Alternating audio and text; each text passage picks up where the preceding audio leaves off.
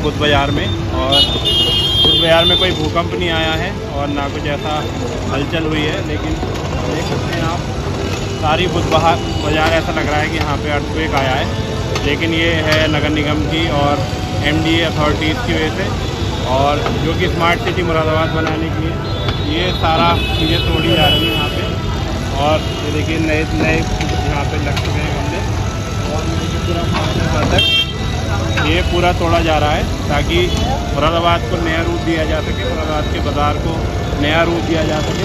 ये बिल्डिंग बहुत ही बहुत लोगों का नुकसान हुआ है, करोड़ों का, लाखों का। लेकिन उनसे कहा जा रहा है कि उनको आगे जाके इस चीज़ का फ़ायदा मिलेगा, जब मुरादाबाद स्मार्ट सिटी पूरी तरह बन जाएगा। लेकिन फ़िलहाल लोगों में गुस्सा है और लोग परेशान हैं। इन दुकानों को छोड़ने को लेके। पूरी वीडियो में बने रहिएगा। और चैनल पर नए हैं तो लाइक, शेयर, सब्सक्राइब ज़रूर करें। वेलकम टू खोज अनुपम यूट्यूब चैनल। शुरुआत करते हैं अपनी इस वीडियो की। मैं आज बुध बाज़ार गया था और जब मैंने बुध बाज़ार को देखा तो मुझे अपना पुराना सा बुध बाज़ार नहीं लगा। देखने में कुछ ऐसा लगा कि जैसे कि कुछ यहाँ पे अर्थक्वेक या फिर भूकंप आया है। लेकिन आ, लोगों से पूछने पे पता चला यहाँ पे जो कि दुकानें जो सारी टूट रही हैं वो एक नए स्मार्ट सिटी की तैयारी में है। ये देख सकते हैं आप। होटल ग्रैंड साइन के पास और ये सारा तोड़ फोड़ हो रखी है।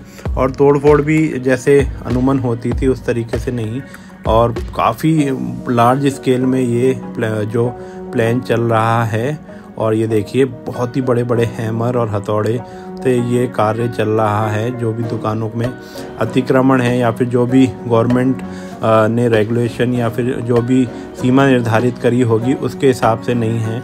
तो उन्हें हटाया जा रहा है या उन्हें सेल्फ डिस्ट्रॉय करा जा रहा है। जो स्वामी हैं दुकान के, वो खुद उस चीज़ को, अतिक्रमण को हटा रहे हैं और प्रशासन का पूरा साथ दे रहे हैं। और यहाँ पे देख सकते हैं आप इंडियन ओवरसीज़ बैंक के ऊपर काफ़ी ऊँचे पे से ये पत्थर जो गिर रहे हैं धाड़ धाड़ और ये भी देखिए, पूरा इसकी वजह से पूरा जाम और लोगों के बीच में काफ़ी परेशानी और भीड़ भाड़ हो रखी है।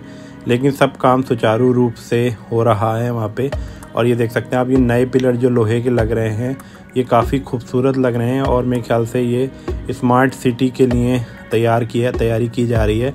और जब ये तैयार होगा तो मेरे ख्याल से जैसे दिल्ली में हमने देखा था कि पुराने समय में जो आपका चांदनी चौक का हाल था और अब जो नया वहाँ पे बन के तैयार हुआ, बहुत ही खूबसूरत है। तो मैं समझता हूँ कि अगर ये लोगों को कुर्बानी और ये लोगों को परेशानी देनी पड़ रही है, झेलनी पड़ रही है, इसकी वजह से और बाद में इसको, लोगों को इस चीज़ का बहुत बेनिफिट मिलेगा और ये बहुत खूबसूरत बाज़ार होके निकलेगा। तो आपकी क्या राय है इसके बारे में?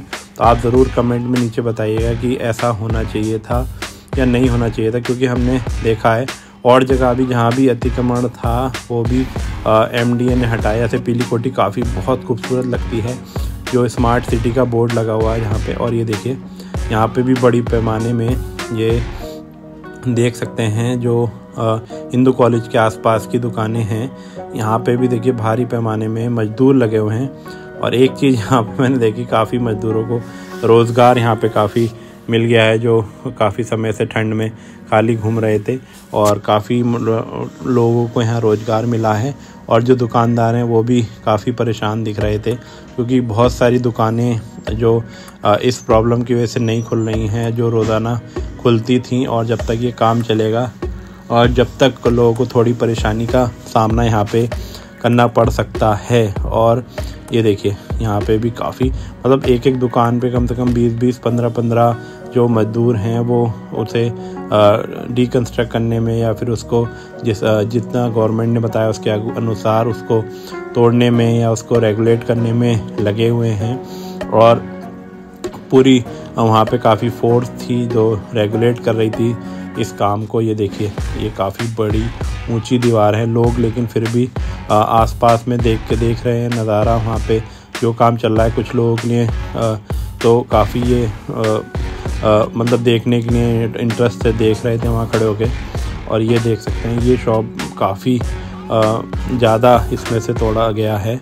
और यहाँ पे काफ़ी ज़्यादा रेगुलेशंस लगाई हुई हैं इन दुकानों पे। और देखिए एशिया एशिया सैनिटरी के ऊपर की ये दुकानें हैं, देखिए, जो यहाँ पे, जो फिर से तोड़ी जा रही हैं। यहाँ पे और उनको जो सही तरीके से है, उस तरीके से उनको फिर से मॉडिफाई किया जाएगा जितना गवर्नमेंट की रेगुलेशन है और बहुत ही सुंदर बन के निकलेगा। उसके बाद मेरे हिसाब से ये देखिए, सबसे ज़्यादा इस बिल्डिंग में मेरे को दिखा और ये देखिए, बहुत ऊपर तक ये बिल्डिंग है और ऊपर से काफ़ी मलबा यहाँ गिर रहा था। उधर की रोड बंद भी है, इसीलिए ये देखिए, पास से आप देख सकते हैं।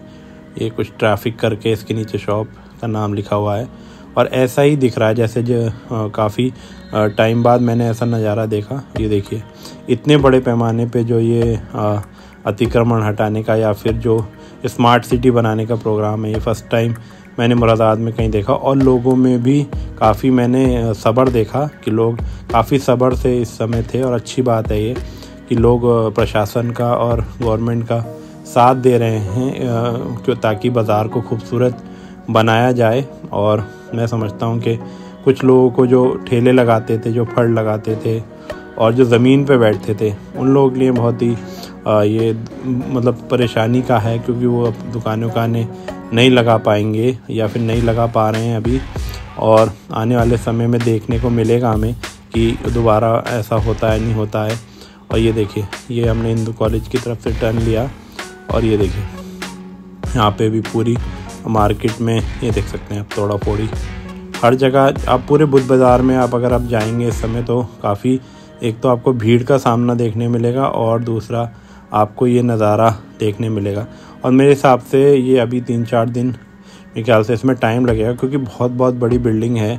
जिसमें देखिए, ये देखिए, यहाँ पे बड़े बड़े इलेक्ट्रॉनिक हैमर्स हैं, जिससे ये तोड़ी जा रही है, नहीं तो बहुत समय लगता है इन्हें तोड़ने में।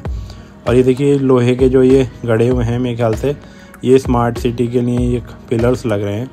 और ये देखिए, मज़दूर यहाँ पे काम में जुटे हुए हैं। और बहुत ही बड़ी ये प्रयोजना है जो भी गवर्नमेंट की। ये देखिए, ये बहुत ज़्यादा टूटा था ये वाली बिल्डिंग ये देखिए, ऊपर पूरा लेंटर तोड़ा गया है। और ये देखिए, ये जो पिक्चर हॉल था यहाँ पे, और यहाँ जो दुकानें थी अंदर को सुपर बाज़ार से पहले, ये देखिए, यहाँ पे भी काफ़ी सारी तोड़ फोड़ हुई है। तो मैं अपने कैमरे से जितना दिखा पाया जल्दी जल्दी क्योंकि वहाँ रुक नहीं सकते थे। पत्थर भी गिर रहे थे और मैंने कि आपको दिखा दूँ ज़रूर, जो आप नहीं जा पा रहे हैं तो ये देख सकते हैं बुद्ध बाज़ार का नज़ारा। और जब आने वाले समय में बुद्ध बाज़ार बहुत ही खूबसूरत और एक स्मार्ट सिटी बन के सामने आएगा और उसका आप वेट करिएगा, फिर मैं आपको नई वीडियो डालूँगा। तो thank you for watching like share subscribe ज़रूर कर दें चैनल को। Thank you